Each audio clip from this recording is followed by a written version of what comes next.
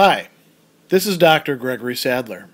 I'm a professor of philosophy and the president and founder of an educational consulting company called Reason.io, where we put philosophy into practice.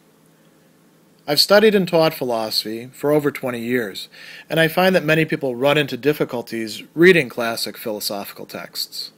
Sometimes it's the way things are said or how the text is structured. But the concepts themselves are not always that complicated, and that's where I come in. To help students and lifelong learners, I've been producing longer lecture videos and posting them to YouTube. Many viewers say they find them useful. What you're currently watching is part of a new series of shorter videos, each of them focused on one core concept from an important philosophical text. I hope you find it useful as well. One of the tendencies of modern civilization that Fyodor Dostoevsky is criticizing through the mouth of his interlocutor in Notes of the Underground is represented by the image of the Crystal Palace. And there actually was a Crystal Palace that Dostoevsky himself did, in fact, get to see that somebody had built at that time.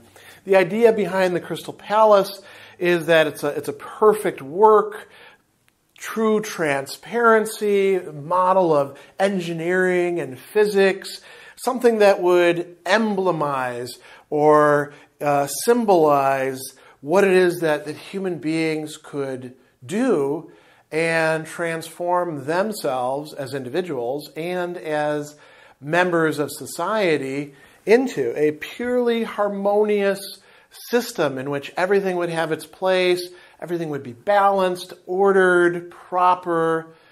And Dostoevsky has his character say, I, I, don't actually want a crystal palace like that. And I think a lot of other people don't, including some of the people who are its greatest advocates. And so let's take a look at the mindset, this dream, we could say, of the rationalists, the humanitarians, the social reformers, and indeed of the entire Enlightenment project. So he talks about the problem. You know, why do people do all the stupid things that they do? Why is society so badly organized? We're always at counter purposes with each other.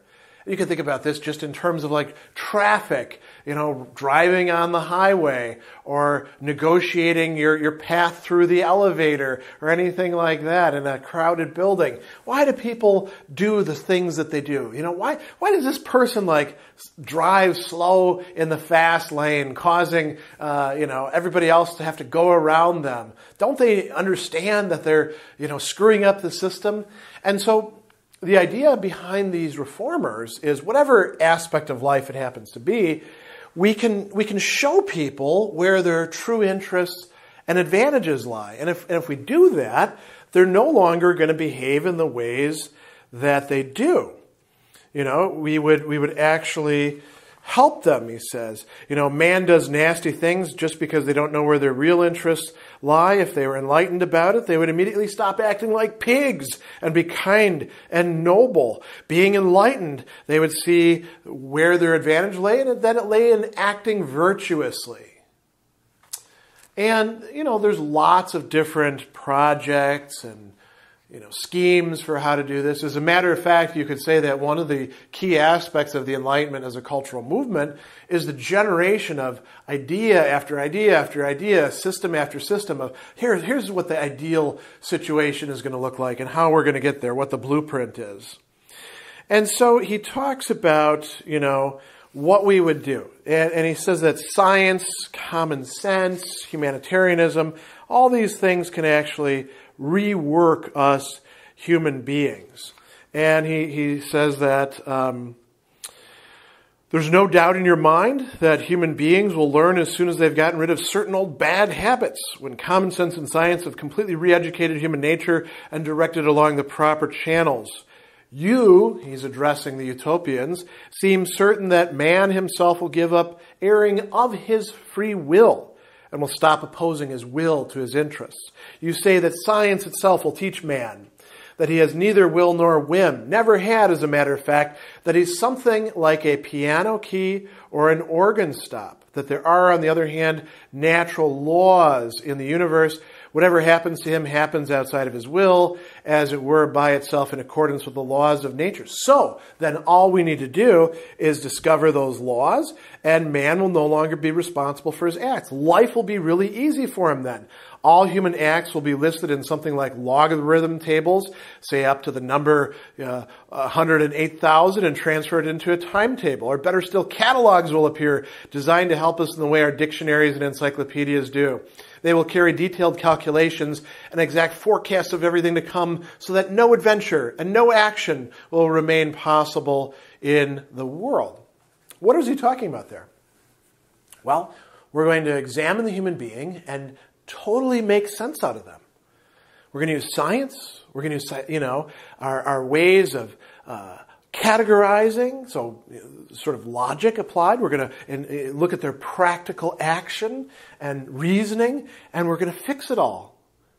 This is still a, a dream today. As a matter of fact, the people who are big proponents of technology uh, seem to think that you can take technology and apply it directly to the human condition, and we can, you know, make things so much better. As a matter of fact, it's become kind of a silly trope within the tech industry, uh, you know, that, that we're making the world a better place with this algorithm by, you know, nudging people in this way or that way, based on neuroscience, right? Most of the stuff that, that purports itself to be neuro anything out there is just kind of a pasteboard uh, cobbled together things with all sorts of ad hoc assumptions that uh, may not actually hold up. There is some, some real neuroscience going on, but that often doesn't make such great fanfares. It's almost as if, there's a little bit of a digression here, it's almost as if human beings need to talk themselves into thinking that these utopian schemes aren't actually BS and will hold up to real scrutiny while making sure that never, uh, there never really is any real scrutiny applied to them. Now, coming back to Dostoevsky, what would we do? We would, we would change things in such a way that people would stop desiring the wrong things. We would inform them. We would reshape them. We would guide their desires and their formation and their habits and take away the old wrong-headed associations. And over time, we would create a much better society in which everybody could flourish, we could say, as it were. Um, there might even be room, he says, for, you know, chaos, swearing, and all of that sort of stuff. Maybe there could be a calculation for that. So, or a calculation would prevent it so that sanity would prevail. And we could have everybody, you know, getting exactly what's good for them in, in that respect, right? Now, what if that were to, to happen? Dostoevsky doesn't actually think that you're going to manage to pull this off. But let's just say it did. Let's say that you had all of these resources and you started changing human beings and you managed to change human nature. He says, well, when desire merges with reason, then we will reason instead of desiring.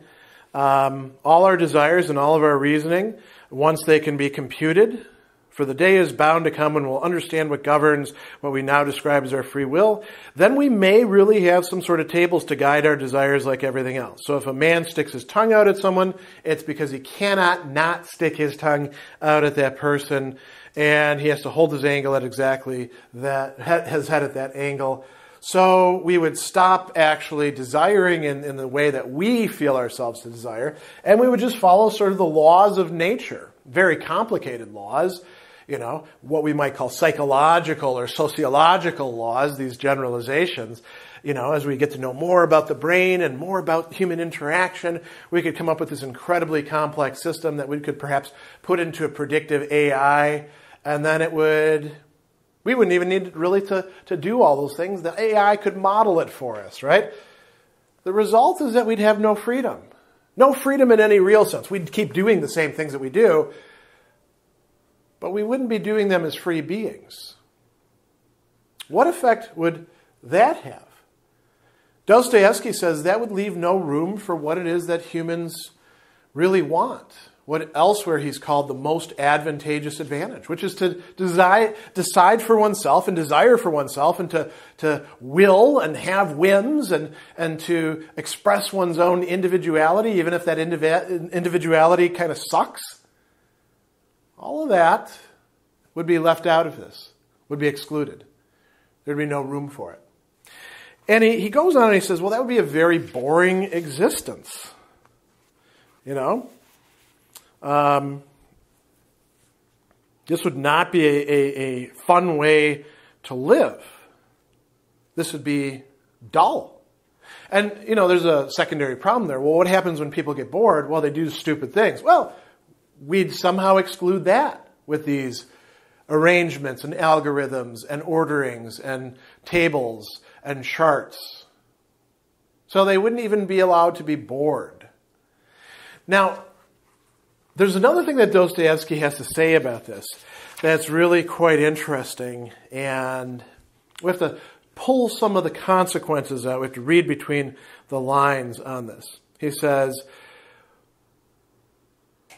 so far, these are nothing but assumptions on your part. I'll grant you they conform to the laws of logic, but are they in accordance to the human law?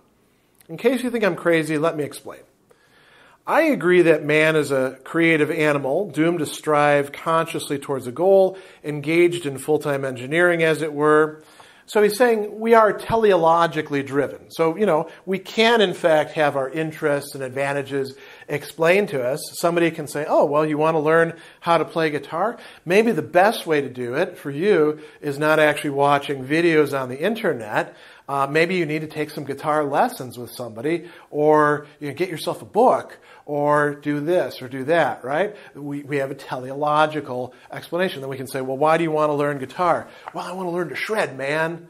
Oh, okay. If that's what you had in mind, well, then you don't necessarily need to learn this stuff. You need to learn this stuff instead. I want to play, uh, you know, flamenco music. Oh, well, then you're going to have to do a lot of finger exercises. And this would be helpful for you, right? We can do that sort of thing. Oh, I want to play in a band. Oh, well, then you probably need to actually start talking with other people who might someday want to play with you and start learning how to jam rather than perform simply on your own, right? We can go on and on and on. Dostoevsky goes further with this. He says, We are engaged in full time engineering, busy building ourselves roads that lead somewhere, never mind where. Perhaps if he feels like straying now and then, it is just because he's doomed to build this road that the road goes somewhere, and the main thing is not where it goes, but keeping the well meaning babe at his engineering chores, saving him from the deadly snares of idleness. We like creating and building roads. Why, why then do we like chaos and disorder and destruction? He says, well, perhaps it's because we're instinctively afraid of reaching the goal that we are working for. How do you know Perhaps that he likes his objective only from a distance. Perhaps he only likes to contemplate it and not to live in it, preferring to leave it when it comes down to it to animals such as ants, sheep, and such. Right? Ants are different. They have their, their ant hill and they follow their programming and they do it real nice and you know it's amazing what they can do. But we're not ants. We're not simply programmed uh, devices or animals. He says, the purpose is life itself and not the goal, which of course must be nothing but 2 plus 2 equals 4. So he loves the achieving, he says, but does not particularly enjoy what he achieves. Isn't that funny? Well, human beings are comical animals. Now, let's think about that. So we'd be more interested in the doing than the goal itself, and we'd be driven by our desires in ways that are sometimes irrational. Could you apply that to the goal of the Enlightenment? Maybe even the people that are for the Enlightenment, when they start getting closer to it and they start seeing their dream becoming a reality, aren't quite so happy with what they're seeing and start finding ways to drag their heels and dither around and not make the progress that they want to make or get themselves in stupid personality conflicts or find other ways to you know break the crystal palace and send it tumbling down so they can rebuild it again. Maybe that's what really lies behind this dream of the rationalists. Because think about it. If it was actually achieved we would lose an integral part of human nature. We would lose our freedom. we would we'd become bored with that, and we wouldn't even be allowed to express our boredom by breaking things or making punk music or something like that, right? Uh, listening, you know, doing the, the thing, putting the guitar too close to the amp and playing around with the feedback. No, no, you mustn't do that sort of thing. There's either, either it would work, which is a possibility for us, and that's going to be a bad possibility, or this whole thing is really more irrational than it pretends itself to be. So those are Dostoevsky's reflections on this desire to turn the human being into something like a set of organ stops or a set of algorithms, something that can be predicted, something that can be measured, something that can be improved upon indefinitely until we reach the limit point of perfect humanity. Dostoevsky is saying that is a project that's doomed to fail by its own nature, and the more that it doesn't fail, the worse off we actually are.